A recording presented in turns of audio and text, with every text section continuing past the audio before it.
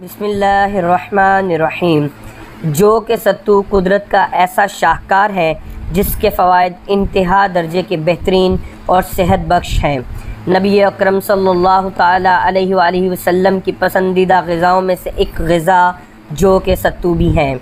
आप सफ़र के दौरान जो की रोटी या जो के सत्तू को साथ रखते थे और जब भूख लगती तो इसको फाँक लेते।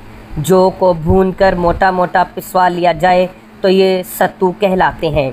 अम्मा आयशा रज़ी अल्लाह ताला फरमाती हैं कि ये रंजीदा दिल को कवी बनाता है और बीमार के दिल को धोता है।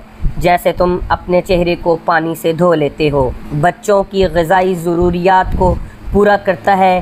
सीने और पेट के अमराज में भी मुफीद है। खांसी, दमा, गर्मी का सर दर्द प्यास, लू लगना और मैदे के अल्सर को मैदे से खींच कर बाहर निकालता है।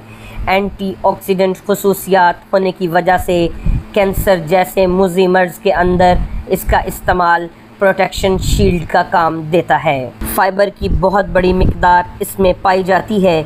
इस बिना पर मैदे के अमराज के लिए जादुई ख़ास का हामिल है। पुरानी से पुरानी कब्ज़ को जड़ से उखाड़ता है और एंटी ओबेसिटी होने की वजह से मोटापे को कम करता है। शुगर के मरीज़ों के लिए बहुत ज़्यादा फ़वाद का हामिल है। सत्तू लबलबा के अफ़ाल को दुरुस्त रखने में बहुत मुआविन है। बढ़ते हुए कोलेस्ट्रॉल लेवल को कम करता है और खून की नालियों में खून के जमने के अमल को रोकता है। सत्तू में वाफर मकदार में प्रोटीन पाई जाती है। जो हमारे पट्ठों की अफजाइश और मुरम्मत में मदद देती है। सत्तू हमें ताकत और तोानाई बख्शता है और हमारे जिसम में मौजूद जायद कैलोरीज़ को कम करता है, जिससे हमारा बढ़ता वज़न भी कम होना शुरू हो जाता है और आपको ठंडक का एहसास दिलाता है। सख्त गर्मी की वजह से ना सिर्फ़ हम सुस्त हो जाते हैं, बल्कि बाज़ात हमारे ब्लड प्रेशर की सतह भी कम हो जाती है, जिसकी वजह से हमें थकावट महसूस होती है। और हम से सख्त गर्मी में ना कोई काम होता है और ना कहीं बाहर जाने को दिल करता है।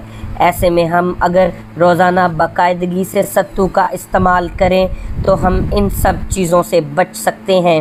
क्योंकि सत्तू में कुदरती और गज़ाई अज्जा शामिल हैं जो हमें तोानाई देते हैं। लिहाजा गर्मी के मौसम में सत्तू का इस्तेमाल लाजमी